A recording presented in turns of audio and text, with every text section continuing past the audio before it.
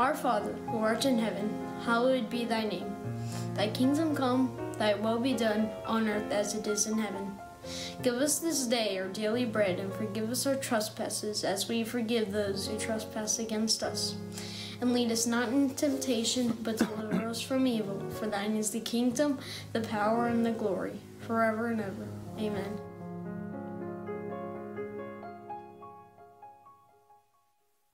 Amen. Thank you, Gabriel. That's a good looking boy right there. Amen. A good looking young man. Uh, thank you so much uh, for helping us out uh, by reading the Lord's Prayer today and praying the Lord's Prayer for us, Gabriel. Would you please pray with me and for me? Most gracious, loving Lord, I ask now for your help. And Lord, I pray these words I speak today that more importantly, Lord, they might line up with what you desire us to know to know about loving you and loving others. Lord, it's in your name that we pray. Amen. I don't know if you were aware of this or not, but the NFL draft was this week, and uh, it reminded me of a story uh, about the Washington Redskins. And this story uh, took place in the 80s when the Redskins were relevant and when the Redskins were good.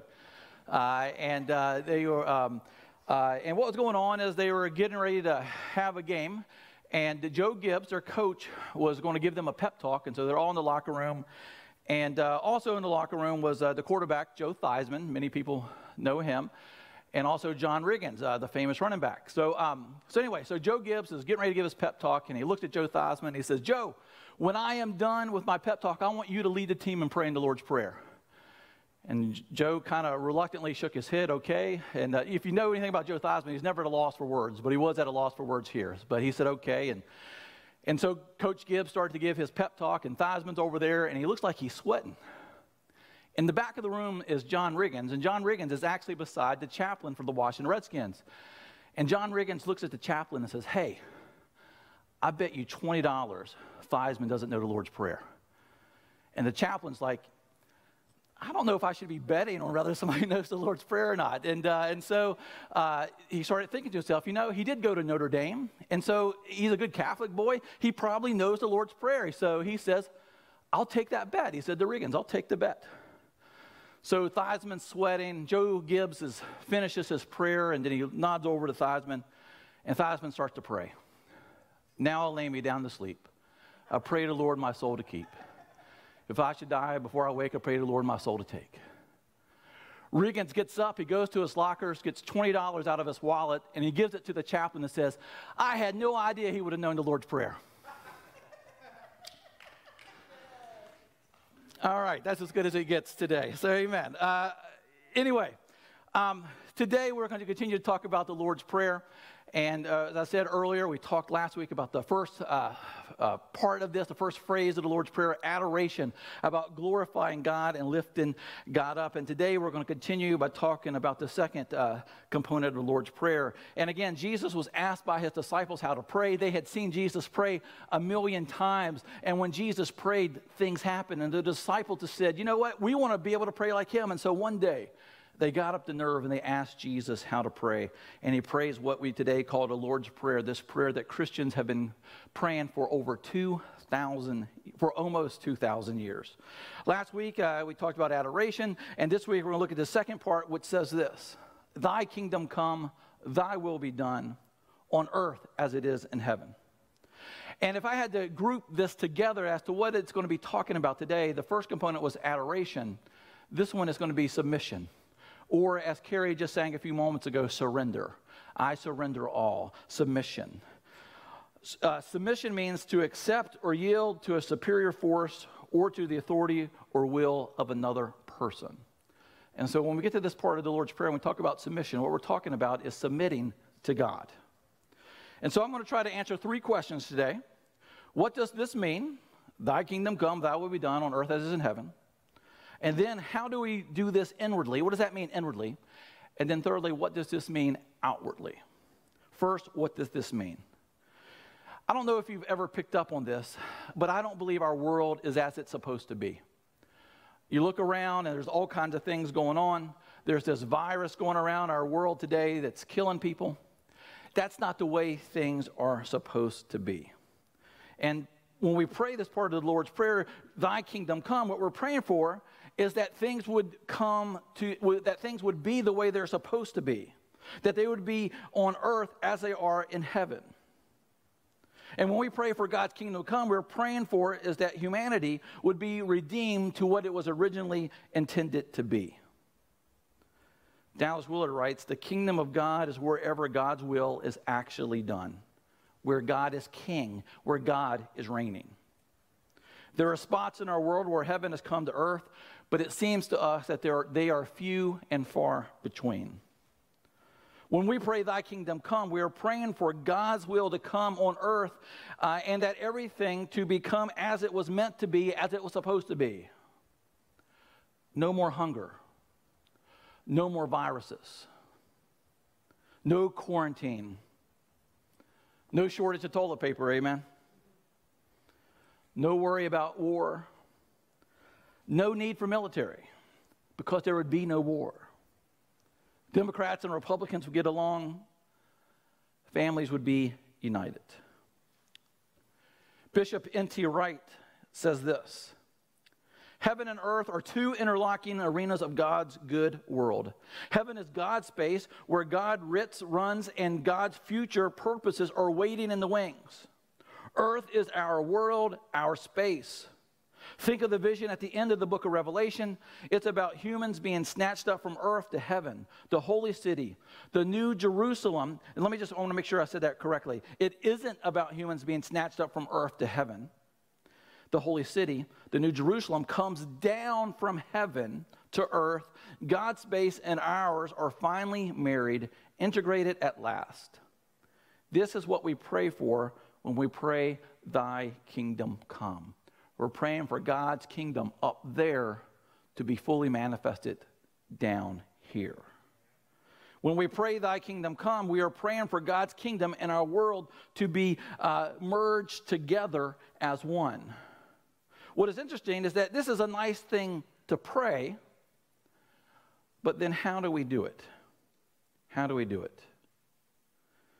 Thy will be done. Think about that phrase. Thy will be done. For some of us, this part of the prayer could be our worst nightmare because this means that we do what God desires us to do before we do what we desire to do. And one of the things that's really jumped out to me as I've studied the Lord's Prayer is the order of which it is in. We started last week with adoration, where we're to glorify God and we're to thank God for who God is, that we're to see God as our heavenly parent, as our Father, and that we are to uh, uh, know that He is as close as the air that we breathe, and we're to hallow God's name. But our step today is to submit, is to ask for God's kingdom to come and for God's will to be done. Next week, we're going to look at daily bread. This is where we have supplication. This is where we have petition. This is where we ask for what we desire. But notice that God's will be done comes before give me. God's will comes before give me. I don't know about you, but often I want it to be about me first. Amen? I'd rather have give me than worry about God's will. But that is not the way Jesus sets up this prayer. God's will be done comes before we are to ask for our daily bread. And perhaps one reason God's kingdom is not expanding or that it's not meshing with our world is because many of us are praying, Give me, before we pray, Thy will. And if we want God's kingdom to come in ourselves and in our community and our world, we need to follow Jesus' pattern of prayer and pray, Thy will before give me. Say amen if you can. The first weekend of 2020, uh, at the end of the sermon, we, we introduced you to Wesley's covenant prayer. Woodlake's prayed this prayer for many years. And if there's ever been a prayer that, that kind of meshes with uh, God's will before my will, it's this prayer. Look at, look at what it says. I am no longer my own, but yours. Put me to what you will. Place me with whom you will. Put me to doing, put me to suffering. Let me be put to work for you or set aside for you. Praise for you or criticize for you. Let me be full. Let me be empty. Let me have all things. Let me have nothing. I freely and fully surrender all things to your glory and service. And now, wonderful and holy God, creator, redeemer, and sustainer, you are mine and I am yours. So be it. And this covenant which I have made on earth, let it also be made in heaven. Amen. That prayer is all about thy will before give me. It's all about that. And if you struggle with putting God before yourself, pray this prayer. Get the order right of the Lord's Prayer. Pray Wesley's covenant prayer. And I believe it will fundamentally change your relationship with God. Now, hear this nothing is wrong about going to God with our request. Nothing at all. Turn person beside you and say, Nothing at all. God invites us to do this. And next week, we'll be focusing on our petitions to God. So please hear that. But the order really matters. If you pray thy will before give me, you will have both a satisfied God's heart and a satisfied your heart. If you say thy will before give me, if you do it the other way around, where you say give me before thy will, you will have neither God's heart nor your heart satisfied. And that's what makes the gospel upside down. It just doesn't make sense. It almost defies logic. That's why we shouldn't be first, why we should seek to be last. That's why we are called to serve before we are to be served. But the problem is, the world teaches, teaches us almost all the time that it's all about us, amen? One of the things I've been doing with this quarantine is I've been watching a little bit of Seinfeld. Seinfeld's one of my favorite TV shows. And the episode was on the other day where uh, George, one of the characters, uh, was at a, bir- a child's birthday party. And a fire breaks out, right? And George is the first one that leaves the party, and he pushes uh, uh the grandmother who's on a walker down, and he pushes all the kids out of the way so he can be the first one to escape. Because it was all about him, right? It was all about him. And part of what makes that so funny is because it emphasizes a larger truth, right? Often we are self centered and self focused. And that continues with our relationship with God. I believe you'll never fully be able to fully relate to God as long as you have these two components of prayer mixed up. The reason for this is that when we pray, Thy will be done, we are treating God as a subject and not as an object. We are treating God as God and not as a computer program. Think about your relationships, your most precious relationships, your friends, your, your boyfriend, girlfriend, your spouse, or others that are important to you. Are they important to you because they are serviceable to you, because of what they provide for you? Or is it simply because you love them? Do you love them because of who they are, or do you love them because of the things they do for you? And if you love them for their servable, servableness, because of the things they do for you, then I really don't think that's love. The correct answer to that question is I love you because of who you are. In the relationship, you know this. It's built on love, not on what the person can or does do for you. This perspective changes everything. If the relationship is about being serviceable and then the service stops, the relationship's broken. There's nothing there. I have a friend, and um, he had a very um, good job, uh, made a lot of money, and um, was living in Texas and was part of a country club, had a big house, and um, they were just living the good life. Everybody was happy. And then a bizarre accident happened to my friend. He was playing pickup basketball and broke his leg and broke it up very high. And he had to get one of those casts that went all the way up your leg and a little bit beyond. And what, he, what happened is that this was the beginning of the end of his marriage. Um, his wife did not want to take care of him. See, in this relationship, part of the reason I believe she loved him is because of what he was able to give her. And as soon as he was unserviceable, and she had to start providing service, it changed the dynamics of that relationship. And that relationship quickly fell apart. In many ways, he became a burden to her. And it wasn't love. Now, I'm sure there's more to the story than, than that. But I think that's an example of, of, an ex- of what can happen when we make a relationship all about what the goods that are provided and not about the actual relationship. Because what can happen is that this can sometimes happen in our relationship with God. We go to God because we want goods and services, not because we want relationship with God. I want God in my life because if I do this and I do that, God will bless me and He will give me these things. And I want those things. I'm going to pray because if I do, I might be able to get this and I might be able to get that. The relationship becomes not about connecting and being with God, it comes about receiving and getting. Here's a question for you to think about today What is your motive for seeking God? Is it seeking goods and services? Or is it seeking God because God first loved us and because he sent his son Jesus to be our Savior and because of his unconditional love and acceptance? What is the reason you're praying? And the why and the way Jesus ordered this prayer helps us. It reminds us to do this. I love Psalm 37 4. This is what it says Delight yourself in the Lord, and he will give you the desires of your heart.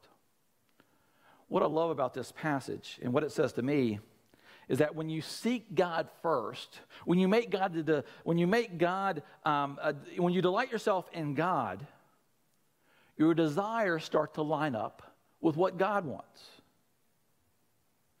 What God wants to give you becomes what you really want. And so when you delight yourself in the Lord, He will give you the desires of your heart. And the reason is because they mesh up, because they match, they're the same. But if we don't delight ourselves in the Lord, we seek God for goods and for services. Often we seek God saying, This is what I want, and if I get this, then I will be happy. Then I will go to church. Then I will pray. Then I will serve. Then I will give. And sometimes what happens, we get what we actually want, and we find out it's not enough. We actually want more. It satisfies us for like a millisecond, right? And then we go on to something else and we work really hard and we get that, and then we're happy for a, a brief moment, and then we keep wanting more and we're not happy. What would happen if you began to live this out? God's will before give me. What would happen if we began to pray, Thy will be done? Uh, give, before we pray, give me my daily bread. What would happen in my heart? I'm a pastor, as you know, and I'm supposed to be spiritually mature, but sometimes this is hard for me. It's hard for me to say thy will before give me because I want to be given to. But what would our world look like? What would our community look like? What would our families look like if we began to do this? Our communities would be transformed, our homes would be transformed, our church would be transformed. One of the other things I've been doing is I've been watching old, I love sports, and so I've been watching uh, the NBA network, Major League, and the NFL networks, watching all these old games. And one of the things they showed the other week uh, was a 2008 NBA All Star game that took place in New Orleans. And this uh, game took place the year after the horrible hurricane uh, where there was so much destruction. And one of the things it reminded me of is that during the All Star game, the NBA players went out to the, to the city and they did work. They did, uh, they did work trying to help the city recover. And there was this interview with one of the residents that lived in New Orleans. And, and what he said is, is one of the crazy things that would happen is, is that people, these tour buses would come to New Orleans and they would come to see the destruction that the hurricane had made. They'd get out, they'd walk around, and then they get back in the bus and they leave. They didn't offer any help, they didn't offer any money. They just came, saw the destruction, and left. That is not what the kingdom of God is. The kingdom of God is where God, where what God wants to happen actually happens. May we bring up there down here. I have a few next steps I want to work through today, and here's the first one. Pray the Lord's Prayer daily. And again, when we do these next steps, um, if you want to pick one, is, is what we hope you'll do. And if you want to do more than that, that's fine. But our main objective is for you to pick one of these. And so the first one is what we had last week pray the Lord's Prayer. And again, I want you to work through this and, and, and, and talk about the components. So, just a quick example.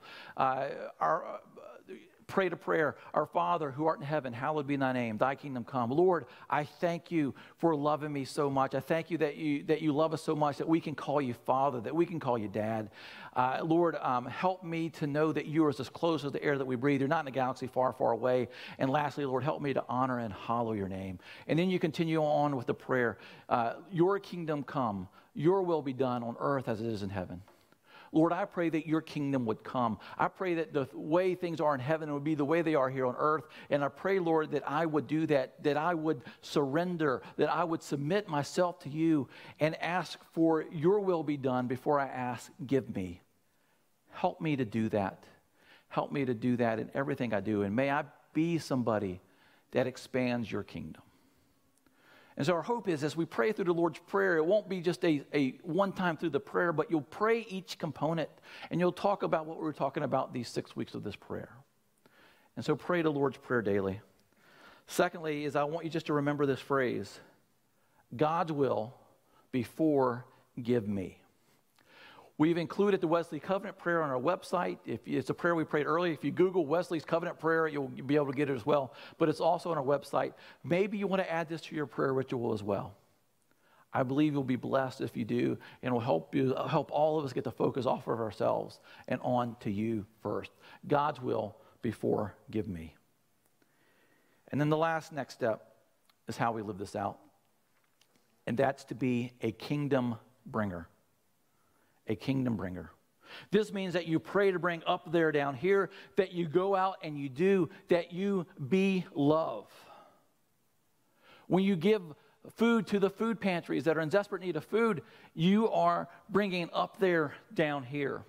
When you know that you have a lonely neighbor who, who has no family with them and they're not going out of the house because they're scared, and you give them a phone call, you take them a meal and leave on their doorstep, that's bringing God's kingdom up there down here. That's being a kingdom bringer. And God wants us to be kingdom bringers. Paul, go ahead and put Megan's picture up. This is a picture of Megan. She's a member of our church, and uh, uh, along with her family, which includes her twin sister, Julie. And uh, Megan's just an incredible lady and uh, has tremendous faith and is a real blessing to so many people that knows her. Megan suffers from chronic pain uh, as a uh, result of Ehlers Danlos, and I'm sure I butchered that name there, Megan, uh, but that's what I'm, Ehlers I believe that's what I call it. Uh, I probably should call it EDS, maybe uh, that's what we should call it. But what this means is, is that she has a lot of pain and that she has less than 15 to 20 hours a week where she can be upright. Think about that. A week, not a day, a week, 15 hours 15 to 20 hours a week where she can be upright. And so she's an active part of our church. And uh, this past week was her and her sister's birthday. And uh, she's an active part of our, our, church, and she's in a uh, small group, uh, the group that is called We Love You Too. We Love You Too. And uh, their birthday was on Thursday, and a member of their group, Tracy, uh, had this idea, and this is a little bit of her words. Uh, and she says, uh, Tuesday morning around 9, Jessica, Jackie, and I were texting about Megan's birthday and ideas we were having to celebrate it. Jessica's idea was, was the parade, and I had been thinking the same thing. I offered to contact everyone I could think of from the We Love You Too group.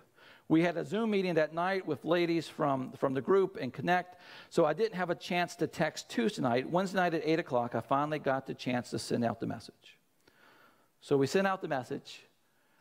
And many members of the group showed up, and Paul's got a picture of this, showed up uh, to do a parade for her birthday. You can see the balloons, you can see the people from the group. Uh, and, uh, and then there were also other people. Uh, this is what Tracy writes. There were also two women in an SUV behind our line who thought I was, who I thought were part of our group. I ran up to the car, all excited to tell them what to do, and I realized they were not with our group. They were just excited to see me and ran up to their vehicle. I apologized for possibly blocking the road and asked what they were doing. I explained and asked if they wanted to join us, and they said yes. And so these two people who had no idea who Megan was They'd love to, and they did. And they were just as excited to wish Megan a happy birthday as we were. God is good. Megan's response after the parade was this Not enough thank yous in the world for how thankful I am for you all and everyone. You make my heart happy, and I love this. You make my heart happy and turned, I can't take this anymore, as she's referring to the pain. I can't take this anymore, birthday, into the most memorable birthday ever. God shines through you all, and I'm blessed to have you in my life. Thank you. That's bringing God's kingdom up there down here. We are called to be kingdom bringers. May we go out after the service today and may we find out how we can be kingdom bringers in our communities. Who are the people that we need to bless? Who are the people that we need to help? Who are the people that we need to share and show that they are loved by the Most High God? May we be kingdom bringers. May we make the love of Jesus Christ accessible to all. That's what this means. Your kingdom come, your will be done on earth as it is in heaven. Let us pray. Most gracious and loving Lord, you are indeed an awesome God, and we thank you so much for this prayer. Lord, help us to surrender ourselves to you. May we pray that your kingdom would be on earth as it is in heaven. May we realize, Lord, that for us to do that, we have to pray your will, God's will, thy will before give me. And may we be kingdom bringers. May we go, even in this quarantine world we live in today, may we go and may we bring your kingdom up there down here. It's in your name that we pray. Amen.